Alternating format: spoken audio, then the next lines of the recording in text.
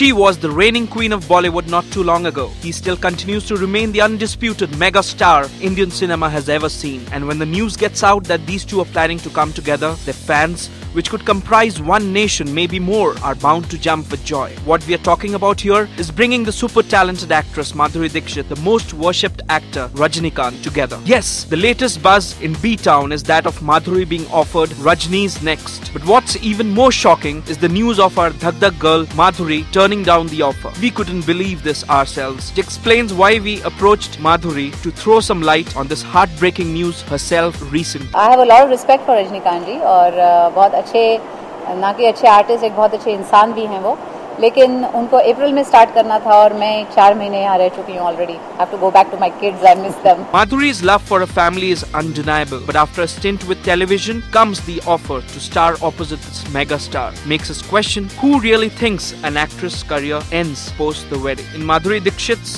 Nene's case, at least it doesn't seem so. With cameraman Puneet Rawat, this is a report by Dipti Ranglani for Rajshri.com.